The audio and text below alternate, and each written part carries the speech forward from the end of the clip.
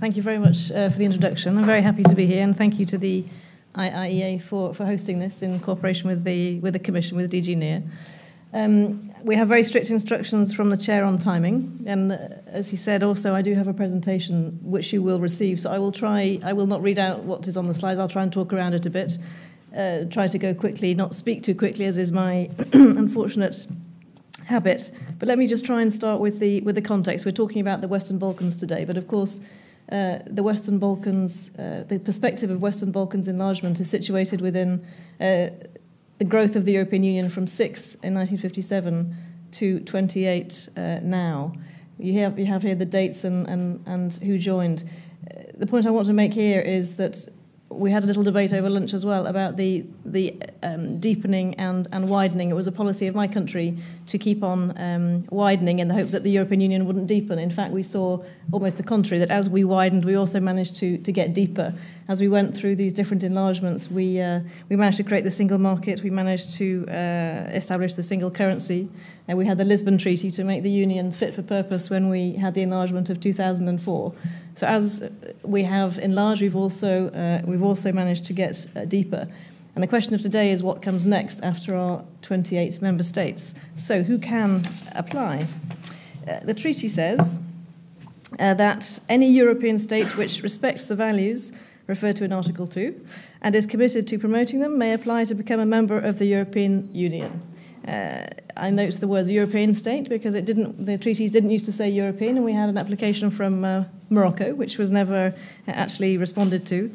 And the values that we talk about, and this is important for the Western Balkans. So the Union is founded on the values of respect for human dignity, freedom, democracy, equality, the rule of law, and respect for human rights, including the rights of persons belonging to minorities. So this is the context. This is what we're aiming at when we say that we can have uh, that we are open to, to, new members. How do they get in there? This is a bit more difficult.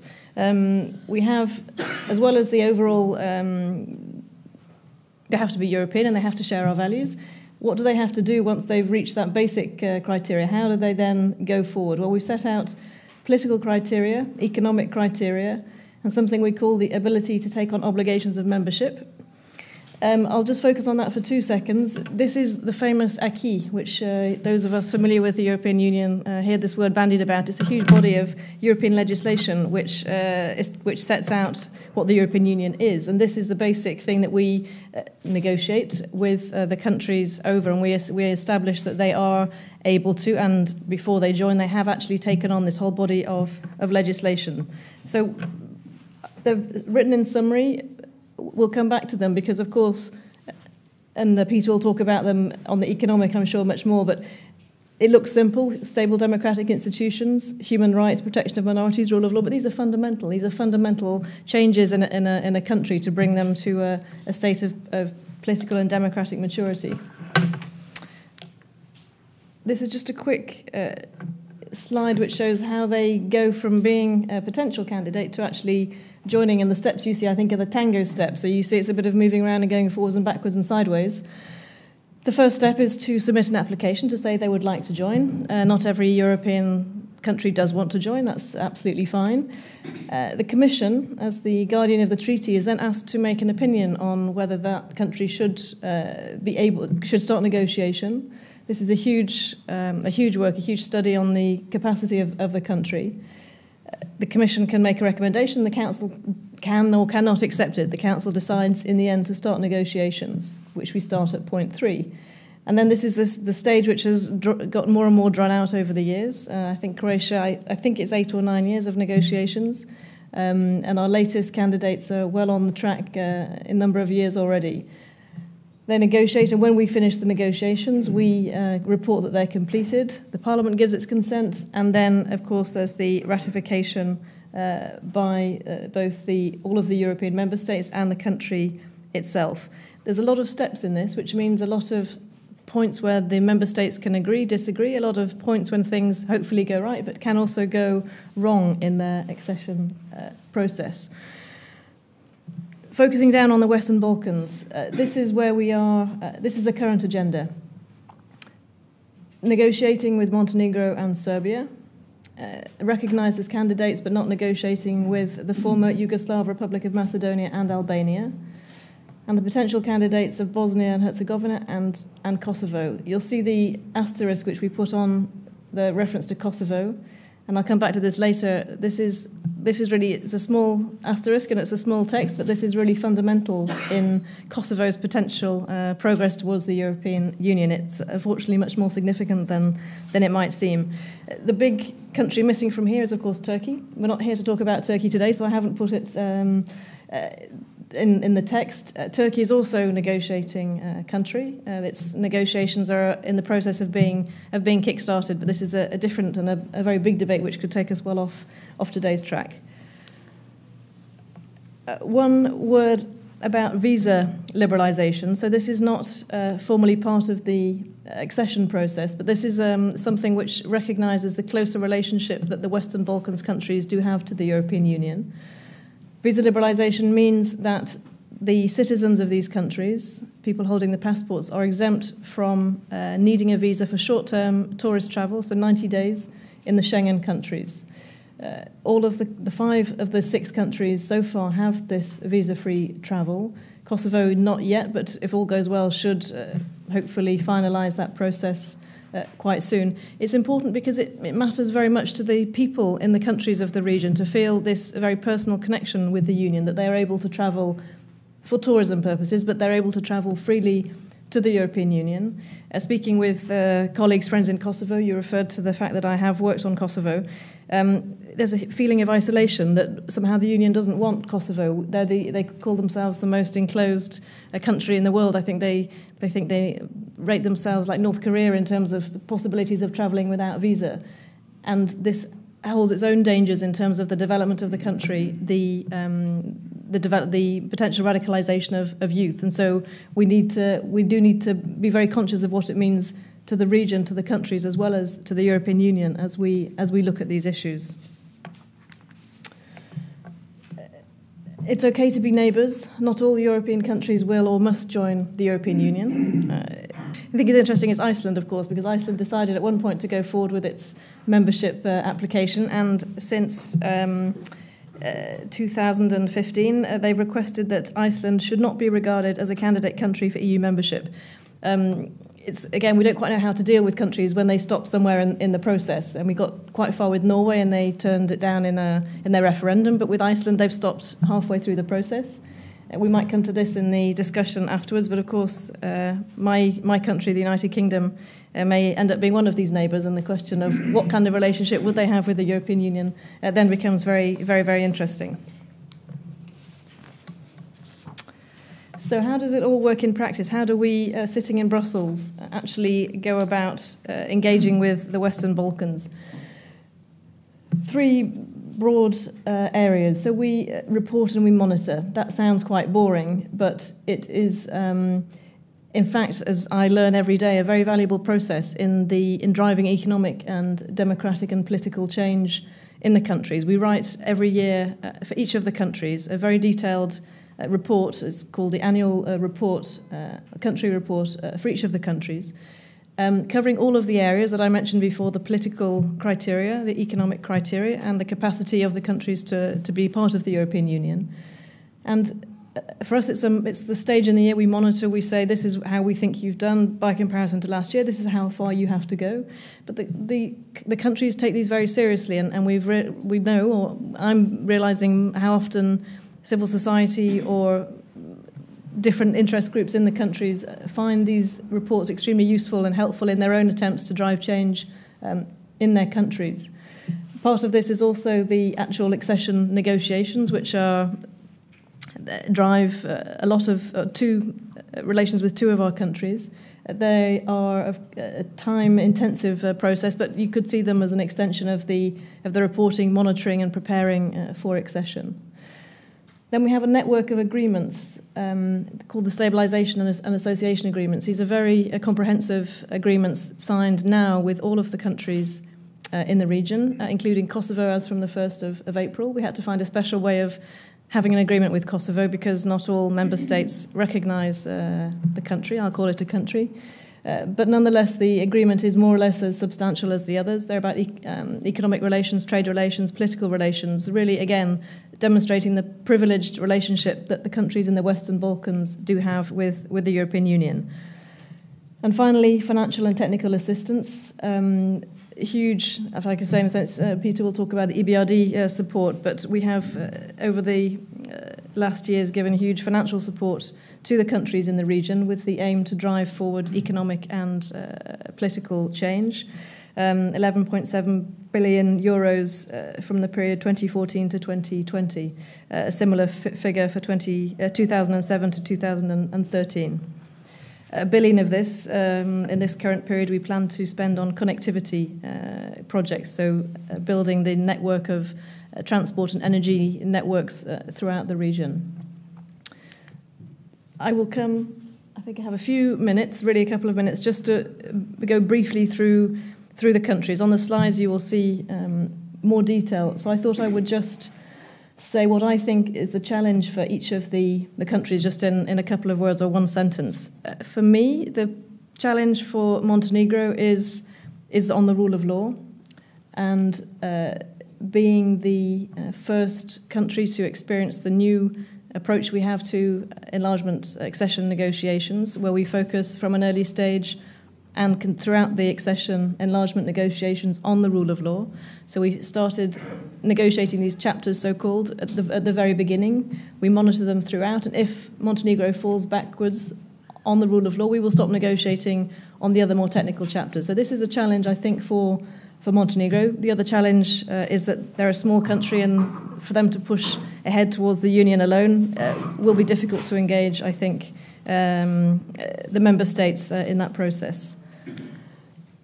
Serbia. Serbia's challenge is the normalization of its relations with Kosovo. Uh, Serbia, uh, we have as part of its negotiate our mandate to negotiate with Serbia that they need to and make progress in normalising relations with Kosovo, and by the time of their accession, to have a legally binding agreement. We don't say they have to recognise Kosovo, but we say there has to be a legally binding agreement on the normalisation of relations. And this is extremely difficult for, for Serbia. Serbia claims Kosovo as part of Serbia.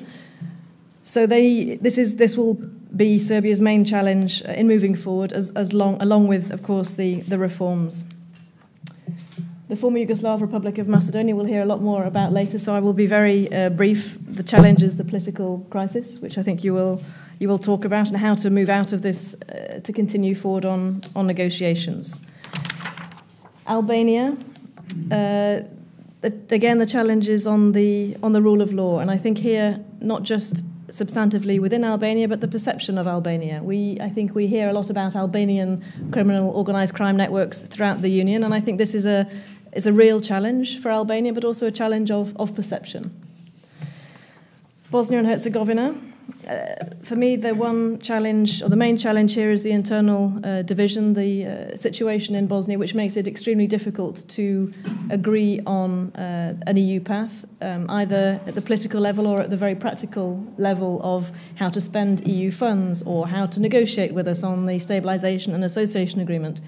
So until these internal structures and institutions in Bosnia are somehow clarified, it's difficult to see progress uh, moving very quickly. Kosovo, um, Kosovo's problem is Serbia, uh, put simply, not because Serbia wants to be difficult with Kosovo, but because of the, uh, their, their history and the claims that Serbia has over Kosovo. Kosovo's problem is also that five member states don't recognise it. So we, it's difficult within the council to find ways to go forward which respect, as they should, these five member states' views and positions on Kosovo, uh, but allow us to deal with Kosovo in the same way as we do with the, with the other countries. Uh, finally, uh, the refugee crisis. You referred to it uh, when, you, when you opened, and I think we probably will come back to it uh, during the discussion. This, is, this sets out what we have done, uh, well, part, a very small part of what we've done in the European Union to address the refugee crisis. It impacts on the Western Balkans because this was the, one of the main routes over last months, over the last year, for people coming to the European Union. It challenged the countries on that route to deal with the, the migrants. How could they deal with them humanely, um, within, with respect for the rule of law? Um, it's also an, an, issue because many citizens had of these of the Western Balkans countries. Many there have been cases of citizens from these countries um, making uh, asylum claims, unfounded asylum claims in the European Union, and the refugee crisis has has meant that their claims are now being uh, rejected more quickly than than they would be. So they have been challenged also on on that front. Um, it has, on the positive side, allowed us to engage with the countries in the region. Um, as the slide mentions, we had a does it mention it? Well, a 17 point plan uh, came out of a meeting of leaders which involved uh, countries in the region on a, on, a, on a level basis, which I think was uh, important, necessary, and valued by, by the countries in the region. I think I've just about stuck to 15 minutes, and this is how you can find us, and I'm looking forward to discussing uh, later. Thank you very much. Tony, thank you very much, and good afternoon, ladies and gentlemen. It's a pleasure to be back here at uh, the Institute. Uh, I really, I, I, greatly value the work the Institute has done over the years on the Western Balkans. I think it's very important to keep this region in, in focus, and uh, it's a region that uh, is very close to my heart, and I know to many of you as well. Um, I want to uh, give my, my short presentation, I, I, want to give a slightly optimistic spin to how I and my colleagues at the EBRD see this region. It's not the first time I've been optimistic about the Western Balkans in, in, this, uh, in this institute and in other venues. Uh, but I really feel that there is an opportunity for this region to move forward over the next uh, decade, economically speaking, and of course, in parallel with their EU accession process that Catherine has been uh, outlining. Um, I'm basing most of my remarks around this paper that uh, I've made available and will be put on the website. The paper is called How the Western Balkans Can Catch Up. Even the title, uh, we originally phrased the title of this paper as a question Can the Western Balkans catch up? And uh, we were briefing our president, and he said to us, Well, um, why don't you, uh, this sounds great, but why don't you change the title? Take the question mark out and phrase it as a a, a more definitive, uh, not can they, but how, how they can. Uh, so this is what the paper is about. And what I want to do in my uh, short summary of the paper is, uh, is basically three things. So I will show you, firstly, that although there is a big convergence and competitiveness gap between the Western Balkans and the rest of Europe, that there are uh, definite signs that this gap, these gaps are, are closing. So that's the first point. Uh, secondly, I'll, I'll give you five reasons why we think uh, people and, and companies, investors, should invest in the Western Balkans. Five advantages of this region. Uh, and thirdly, I'll give you five areas where we think growth in the coming decade uh, can come from. Now, I'm going to conclude the talk then just with a minute or two on sort of the longer term challenges because I don't want to be totally Panglossian and I want to uh, recognize that there are deep challenges facing this region, but uh, overall, I think it is a region with strong convergence potential. Uh, I'm coming from the EBRD, so I want to uh, just say uh, firstly about uh, our involvement in the region. We are, I think, by any measure, the largest investor in, in the region, particularly in, in private sector development, which is really at the core of our mandate. We've, uh, over the uh, 20 plus years we've been active here, we've invested cumulatively 9.3 billion euros and have an active portfolio at the moment of 5.2 uh, billion euros. And the charts show you the, uh, spread by sector uh, and by country, but you can see that we're, we're quite well spread across different sectors, although obviously with a strong emphasis on transport and energy, but also financial institutions and uh, general industry. And the right hand chart shows you the, uh, the breakdown by uh, country. Again, Serbia, naturally, as the biggest country, taking the lion's share of uh, our investments. So we, we have a, a strong commitment to this region. Uh, a strong presence in the region, offices in all uh, in all countries, and a very active pipeline of projects. We would expect to invest this year somewhere in the region of uh, 800 million, possibly up to 1 billion uh, euro across these uh, six countries.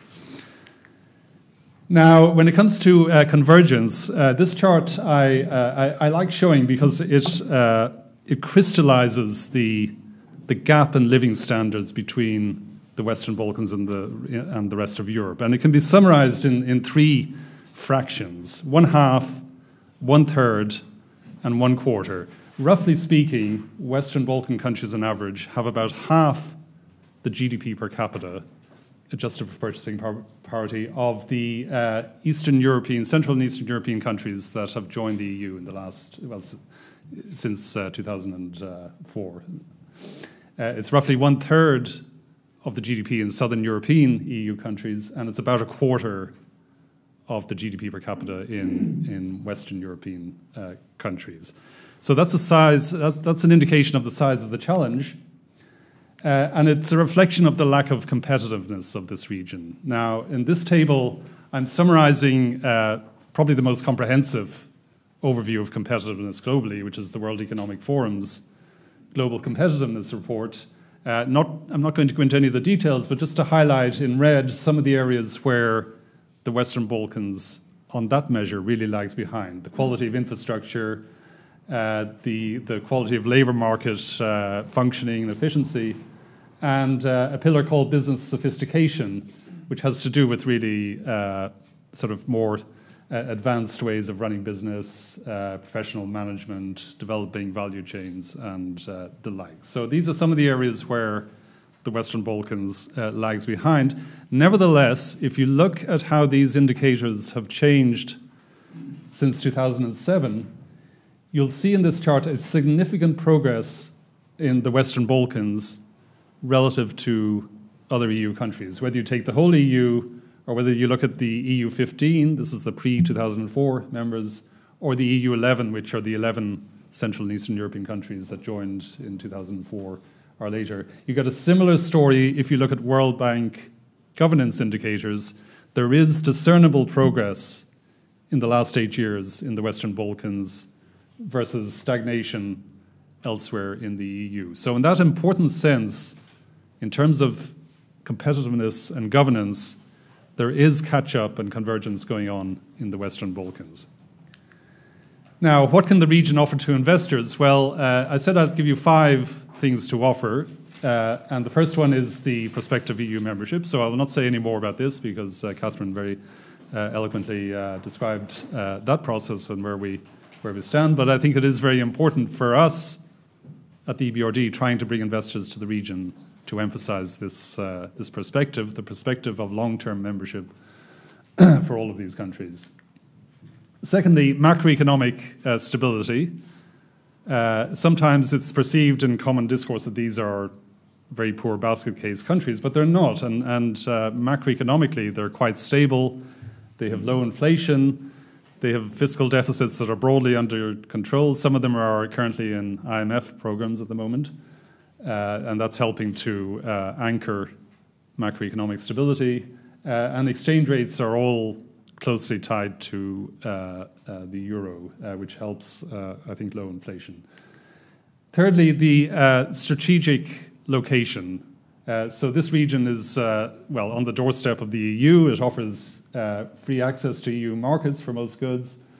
It's linked by the various trans-European corridors, but also it's in, becoming of increasing interest to uh, other investors, and notably uh, the Chinese. Now, uh, China uh, has increasingly recognized the importance of the Western Balkans as a gateway to Europe.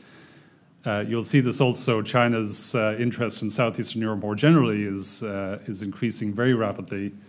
Most recently, China, Chinese investors have completed the privatization of Piraeus port in, in Greece, and they see that then as a gateway up through Europe with various infrastructure plans. This is a very exciting development, I think, for Southeastern Europe and the Western Balkans uh, in particular.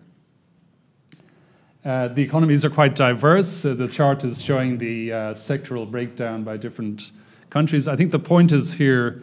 The point here is that no country is excessively reliant on one or two industries. That there's quite a broad spread, and therefore quite a broad spread of uh, opportunities for uh, for investors, with of course differences within countries that are you can see here. Uh, and lastly, uh, taxes and labour costs. So the left-hand chart shows the total tax burden as a percentage of profit, you'll see that on average in the Western Balkans, it's significantly lower than in the EU. On the right-hand side, you see unit labor costs, which again are quite favorable relative to EU standards, not surprisingly, given the, uh, given the living standards and overall GDP in, in the region. So again, from an investor point of view, these are not necessarily decisive, but they are part of the mix. They're part of the mix of decisions of investors when they are uh, looking whether to locate here or somewhere, somewhere else. Okay, so uh, having, I hope, uh, convinced you that there are reasons to invest here, where will the growth come from in, uh, in the next 10 years? Well, we think uh, foreign direct investment is really uh, crucial. And in this, the region has lagged behind, as the left hand chart shows. Again, you see Western Balkan uh, FDI stock per capita around 2.2, uh, 2,500, 2,600 euro uh, per capita, relative to more than 14,000 in the uh, EU.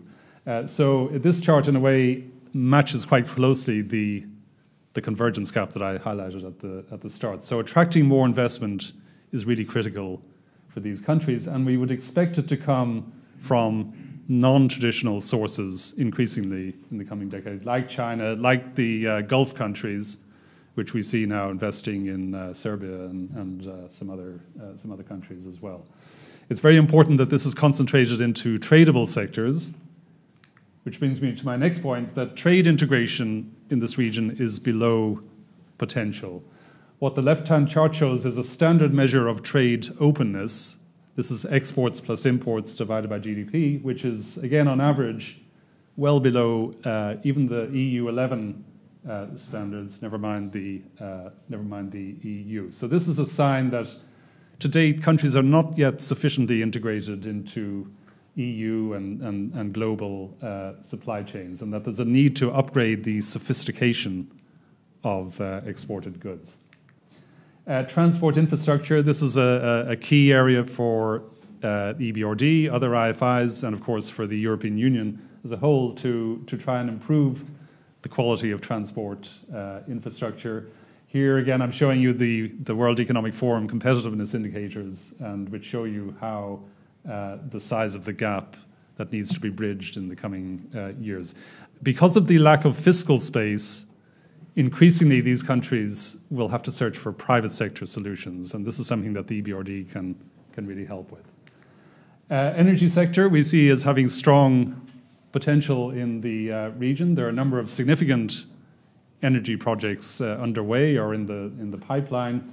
Uh, increasingly, this region is seen as a an important transit region for gas, and there are two pipelines currently, uh, again, either underway or, or, or, about to begin the Trans Adriatic Pipeline and the Ionian Adriatic Pipeline. Uh, but uh, also, we can see significant gains coming from improving energy efficiency uh, and through greater regional cooperation through the uh, energy community. And lastly, we think there's strong potential for innovation to drive growth. What this chart is showing you is a survey that we in the World Bank do every few years, Business Environment and Enterprise Performance Survey, where we asked firms uh, the extent to which they are introducing new products or processes or new standards of uh, organizational uh, uh organization or, or marketing. Uh, so in the Western Balkans, you don't have much R&D going on. Uh, and you don't have much world leaders in, in, in new products, but you do have a lot of companies which are willing to uh, adopt and adapt to take new technology that's been developed elsewhere and uh, introduce it into their own companies. And when you combine this with relatively well educated workforces and relatively low labor costs, then I think there's really potential for this sector to, uh, to be an important growth driver in the coming decade. Lastly, long-term challenges and risks. I just want to mention four of them. I think we may take up some of them in the in the discussion. Uh, I think uh, I've I've highlighted uh, uh, I've, I've shown here the stuck in transition chart. I think I presented this report here a couple of years ago. This is our 2013 transition report, stuck in transition, which argued that many countries in the region have really come to a bit of a, a block in their reform process, and this I think is true to some extent for some of the Western Balkan countries. Uh, it is harder to do reforms when you're not growing much. This is one of the lessons I think we've learned in, in, in transition. And there is the risk that if countries stay stuck in transition, then their growth rates and their convergence will, will, will, uh, will lag behind. Uh, a second long term issue is financial sector fragility. Uh, the financial sectors in this region have managed to survive the crisis quite well. They're dominated by foreign owned banks, but nevertheless, we see a, a, strong need for greater regional cooperation and cooperation with the EU uh, bodies as well within the new European uh, financial architecture. Uh, demographic and inclusion trends, these are quite worrying for some of these countries. Uh, falling populations, low labour force participation, strong migration pressures outwards, as, as we've uh, already uh, mentioned. I think these, these are issues that need to be addressed. And lastly, uh, we haven't mentioned yet, I think, today, but global warming and climate change is a very important long term threat to this region that I think needs to be addressed now in order to avoid big problems down the road. Thank you for the invitation. Good afternoon.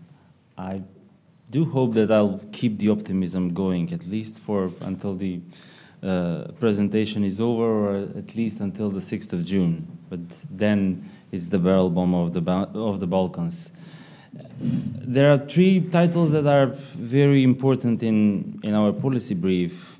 New approach for Macedonia is the main title, and that's uh, one of the important uh, important titles. The barrel bomb of the Balkans is the other one, and the third one is Are we near enough? Uh, questioning whether whether there'll be any any work left for DG NEAR to do if uh, if nothing is done until the 5th of June.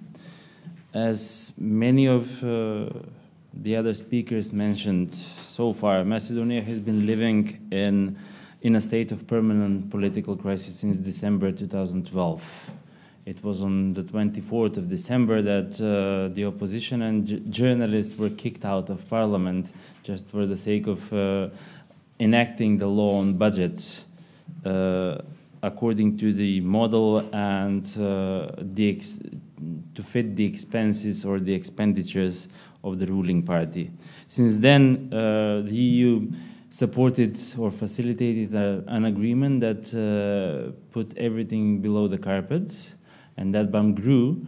And we were stumbled uh, on the bump uh, last year in February 2012. 2013 was the extension of the crisis. 2014 were uh, the early parliamentary elections, the last early parliamentary elections, and the regular presidential, upon uh, which we ended up with the same government as before and with the same president as before. The opposition stated that they don't recognize the election results and boycotted the parliament and their work. OSCE ODIHR, the mission just evaluated or concluded on the elections that they were efficiently administered, including on the election day, but they failed to credit the elections as fair, free, democratic, and most of all, credible. Uh, last year in February, the wiretapping scandal uh, was was out, uh, and that was a new insight of uh, how situation is in Macedonia or how uh, things were done in the past in Macedonia.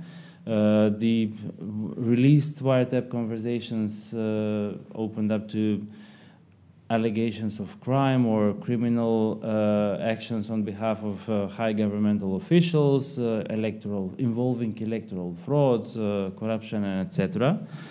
The EU again facilitated uh, or sponsored an agreement that was reached on first on the 2nd of June, then on the 15th of July. It was in the residence of the EU ambassador in Skopje, in a neighborhood called Pržino, and thus uh, Pržino Accord it doesn't mean much uh, uh, when it comes to it, when it comes to the name, but uh, it means quite a lot when you see all of the steps on the pathway towards bringing back democracy and guaranteeing rule of law in the country, and then holding credible elections, which were supposed to be on the 24th of uh, April, so last weekend.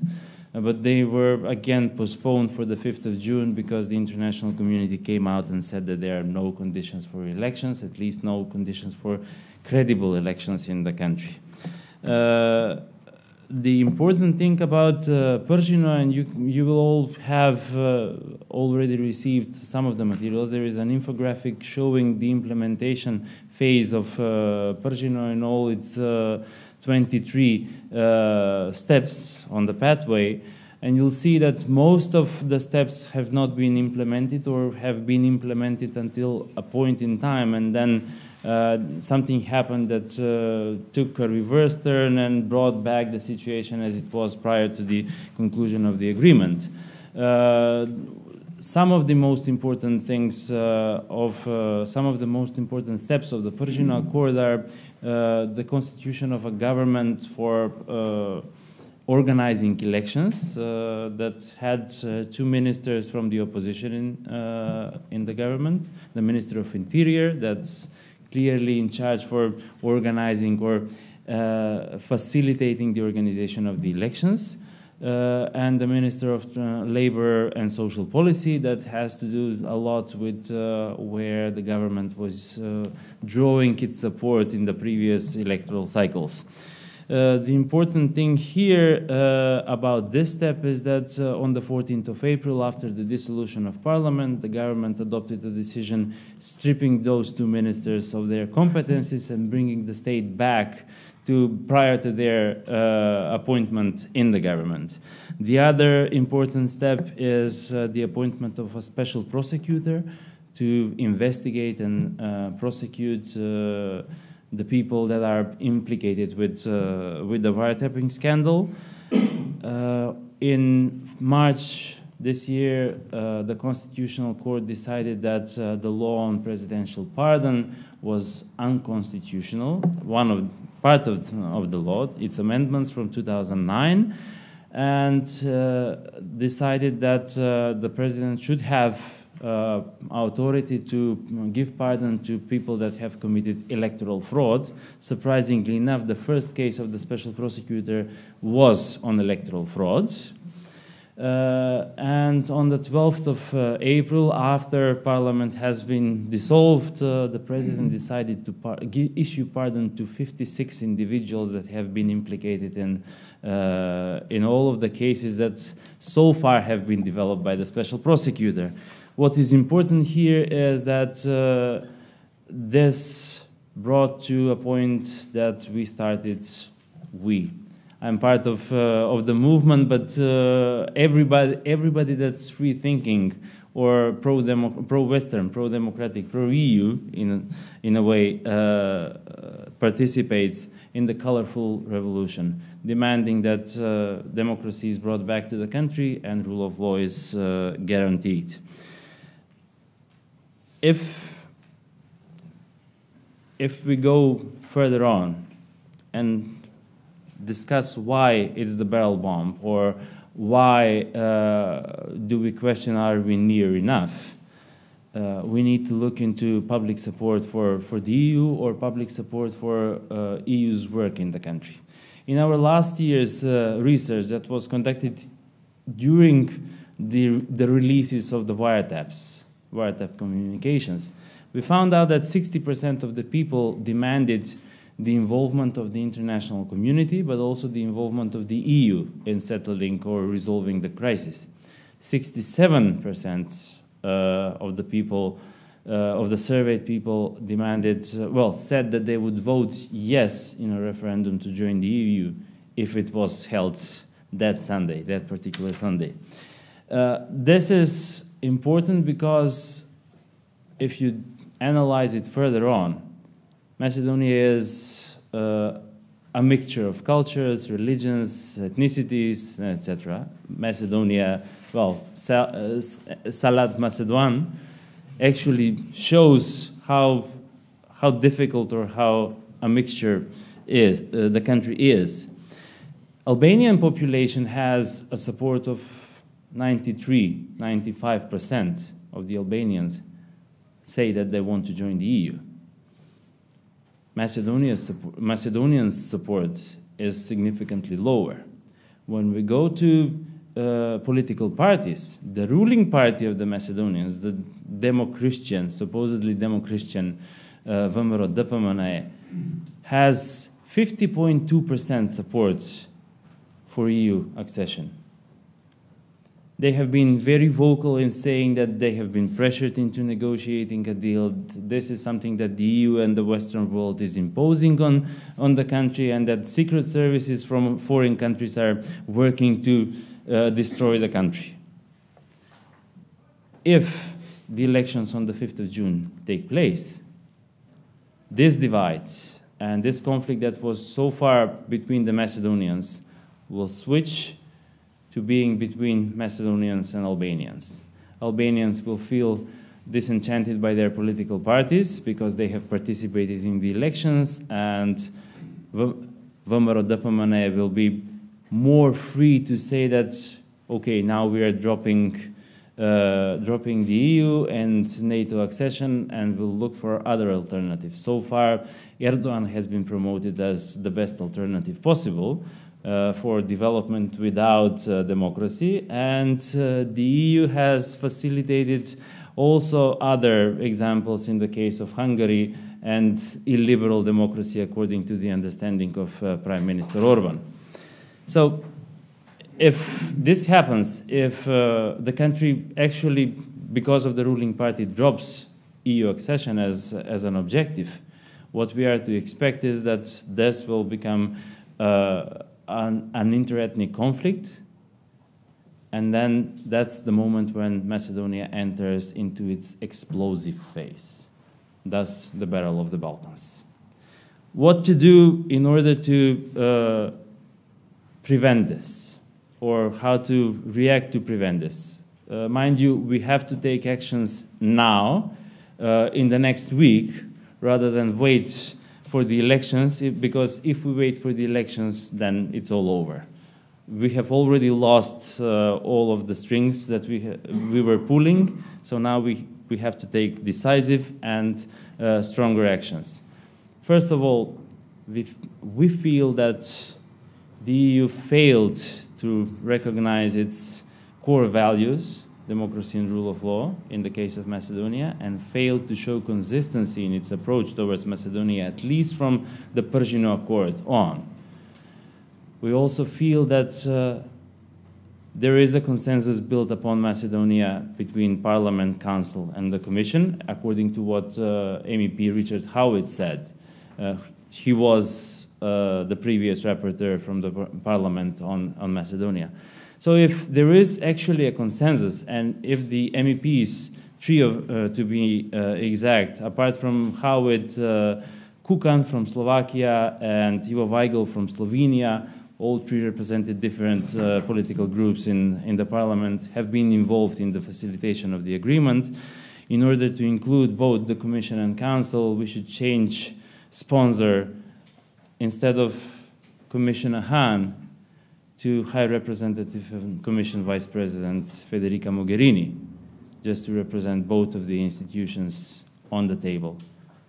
Involve some of the most influential EU member states because so far we have seen that uh, on the ground, Germany, UK, France, and Italy have been more involved, have been producing more uh, results, and have been uh, imposing their influence, national influence on the government in, well, producing some form of reforms. In order for this sextet to work or to produce some form of uh, results, first of all, we need to have uh, a decision on negotiations enabling measures, meaning we need to force political party leaders into negotiations by blacklisting some of uh, the 56 pardoned individuals by appoint, well, deciding on assets freeze on some of those 56 uh, pardoned individuals. Mind you, there are some that have uh, dual nationality, Macedonian and also uh, nationality of EU member states. And uh, finally, maybe even go into deciding on funds freeze blocking the implementation of some of the IPA uh, projects or uh, reprogramming uh, IPA in order to, to well, achieve more results. This is the sticks approach. And according to uh, James K. It's the slowly, slowly uh, approach. Uh, on the other side, we need to have the carrots approach. And here with the carrots, well, to rephrase Baroness Thatcher, uh, democracy and rule of law are absolutely non negotiable. In that sense, uh, we need to take uh, the urgent reform priorities and previous reports from last year, transform it into a rule of law action plan, establish a transitional government for a period of one or two years that will have, apart from politicians, experts sitting in the government, to implement the rule of law action plan and also redesign this rule of law action plan as a, as a pre-negotiations for chapters 23 and 24 just for the sake of keeping the country on track. And as I said prior to, to the seminar, uh, the EU needs uh, to showcase good examples or needs lessons learned for other, uh, for other countries. The process is long, it takes seven, eight years, and countries are taking the examples of, of their bad friends rather than uh, from their good friends. If the EU is decisive enough in tackling the Macedonian issue, as it should, I believe that you won't have the same problems with Serbia soon enough and you won't have the same problems with Bosnia and Herzegovina.